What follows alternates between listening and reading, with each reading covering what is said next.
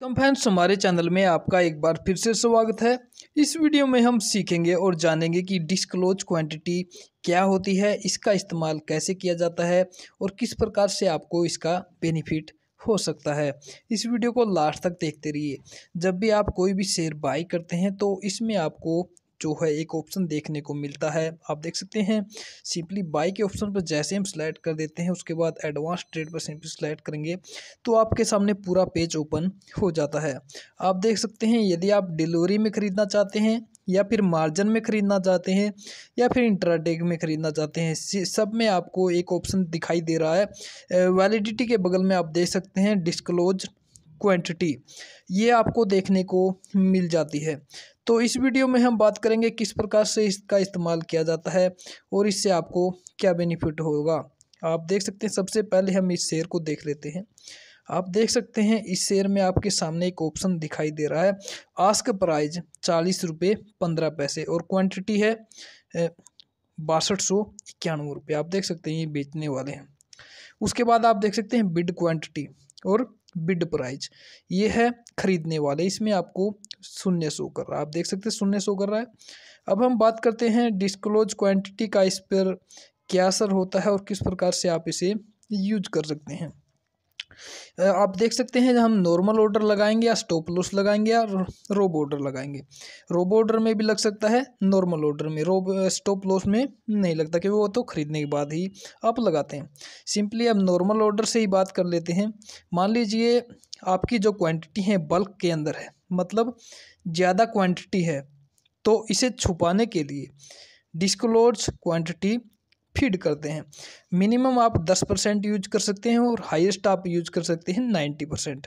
मान लीजिए आपने दस हज़ार क्वान्टिटी है और आप मान लीजिए बीस परसेंट छुपाना चाहते मतलब दो हज़ार क्वान्टिटी छिपाना चाहते हैं। क्योंकि जहाँ मैंने दिखाया था बिड प्राइस वहाँ शून्य दिखाया गया है। मान लीजिए हम ऑर्डर पैलेस करते हैं तो हमारा दिखाएगा दस हज़ार। यदि हम डिस्क्लोज क्वांटिटी के अंदर दो हज़ार डाल देंगे तो दिखाएगा आठ हज़ार। मतलब लोग सेल कम करेंगे। इस प्रकार से आप इसका इस्तेमाल कर सकते हैं और हाईएस्ट आप देख सकते हैं नाइन्टी परसेंट मतलब नौ हज़ार क्वान्टिटी ऐसा करके यदि हम कोई भी शेयर बाई करते हैं तो लोग सेल नहीं करते हैं। उनको अंदाज़ा नहीं होता कि मार्केट ऊपर जाएगी, नीचे जाएगी। इस प्रकार से जो आपकी जो क्वांटिटी है, वो छुप जाएगी नौ हज़ार और सो होगी केवल दस हज़ार। इससे आपको काफ़ी बेनिफिट होगा आगे आने वाले समय में जो आपने शेयर लिए हैं।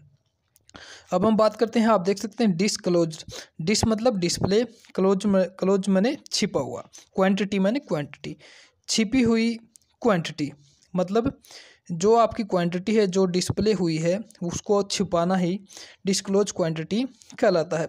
इस प्रकार से आप बल्क में यदि कोई भी क्वांटिटी यदि खरीदते हैं तो इसके लिए आप लगाएँगे डिस्क्लोज क्वांटिटी, लगाएँगे, मिनिमम दस परसेंट और मैक्सिमम लगाएँगे नाइन्टी परसेंट। और डे में ख़रीदना चाहते हैं या आईओसी डे का मतलब होता है उसी दिन आपका बाई हो जाएगा। और आईओसी का है इमीजिएट ऑर्डर कैंसिल मतलब यदि तुरंत ख़रीदा गया तो ठीक है, नहीं तो कैंसिल हो जाएगा, इसलिए आपको डे ही रखना होता है।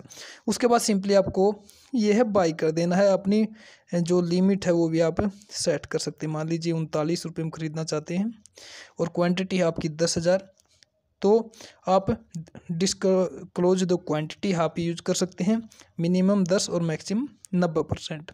ये होती है डिस्क्लोज क्वांटिटी जो बल्क के जो शेयर्स आप बाई करते हैं, उसमें आप यूज़ करेंगे।